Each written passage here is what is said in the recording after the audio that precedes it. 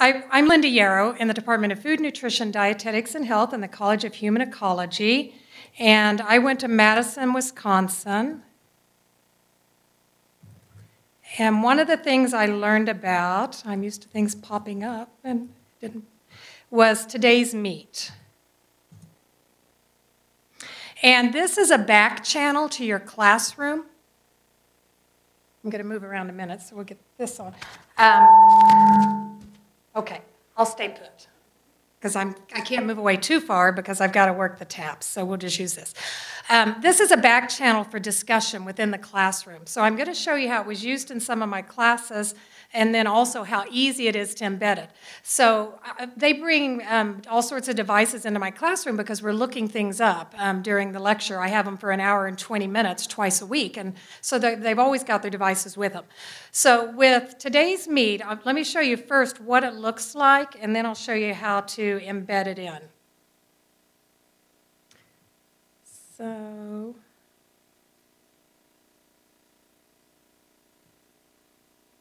Why is this not bringing? Okay. There we go.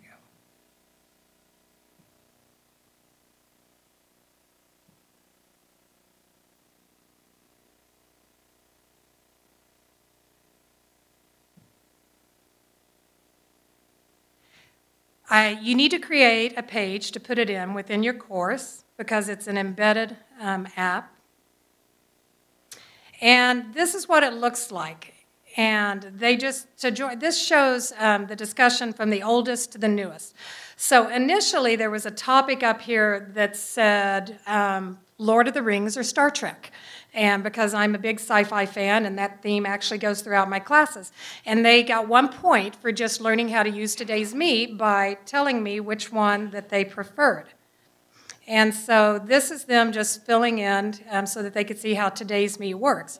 So this is an ongoing discussion, the oldest at the top. However, if you click on that, then you can see the latest discussion. And all they have to do is type in their nickname and they get to join because it's closed to only those who enter it from my um, course site.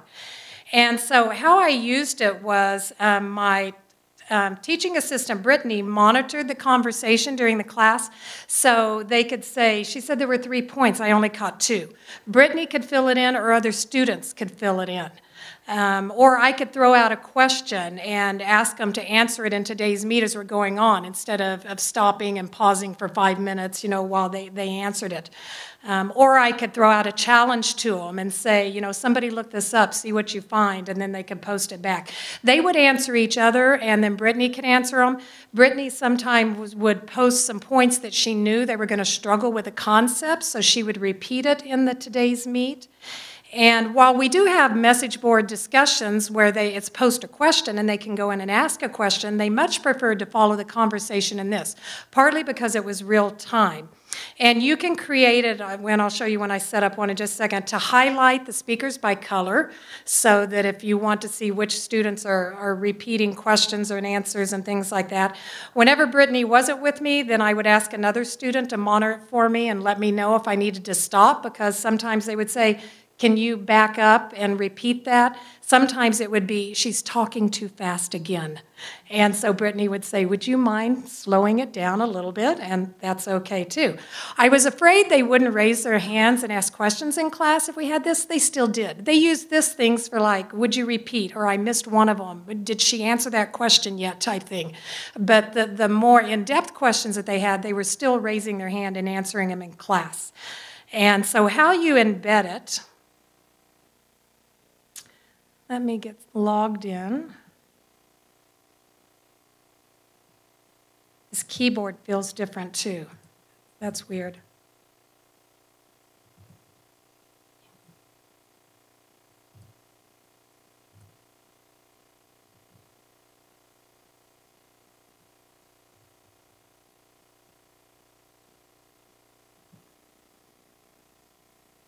So once I'm logged in, um, this is for the spring. Um, this is the one that I'm going to go ahead and show you um, how you would embed it. So that's what it looks like now. But in terms of the class itself, students aren't seeing that.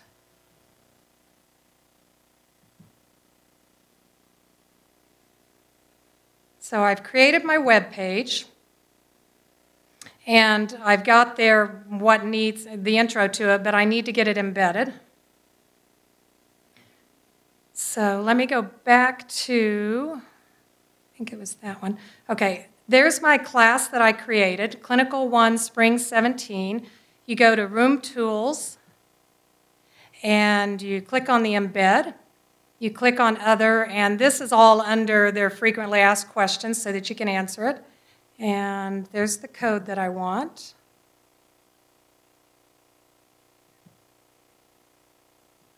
I think I copied okay. Okay, so we'll go back here. And under HTML edit editor. Okay, this is where I'm used to my Apple. Is it the right one that's a, the, bring up the copy and the pay? Oh, there we go. Okay. Okay, but apparently it didn't copy. Let's go back and do that again.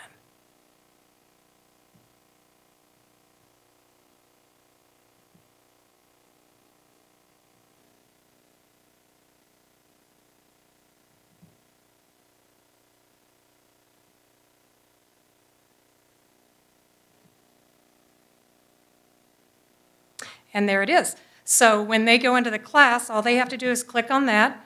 They're going to create a nickname. They don't have to create an account unless they want to. They're going to click join, and then they can type in their message. And you can, um, it's limited to 140 characters. And this will follow in real time. It's shared by my campus and distance classes, so the distance students can see what the campus students are asking, campus students can see what the distance students are asking. You can do a lot of things in terms of how you set it up.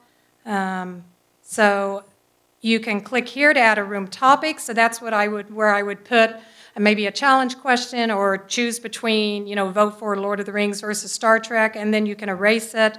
Um, I can mute and I can, so when I mute a student, if somebody plays, um, makes a comment that's not appropriate, then nobody else is going to see it. I can kick them out of the room that if I want.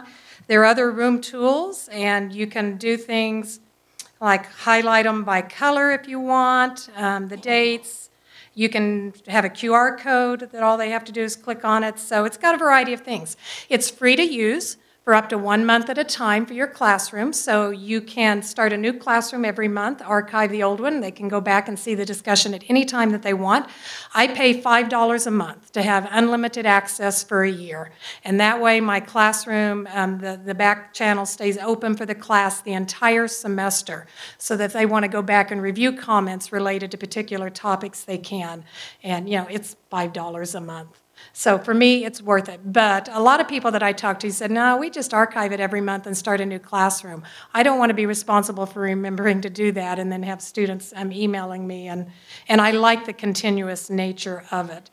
Um, so it's been fun to use. The students like it better than using the Ask a Question on the message board. Um, I know they're on Facebook and YouTube and stuff while they're in my class, but I also know they're on today's Meet because and focusing on the class some because questions are showing up as we go through it. Yes.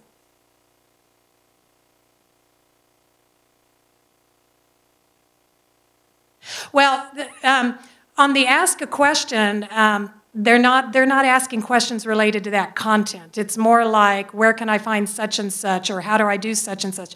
With this one they can say she said there were five points as i'm lecturing but i only caught four. They're not likely after class to go back and say on the message board you said there were five and i only caught four. They do it while they're paying attention in the class and they're still interested. So it's those types of things. Or brittany because she's been with me quite a few years will say this, these details are important. Pay attention. You know, so it can just prompt them to keep watching and stay more engaged with the lecture. Yeah, so it's more related to, or somebody might say, you know, she made this comment, but I still don't get it. And Brittany will say, will you back up and re explain that? Because those are the things that when there's a class of 85 students, they're not likely to raise their hand and say, I didn't get it. You know, they're more likely to raise their hands for things they're understanding or partially understanding and want to know more about. Anything else? Okay, thank you.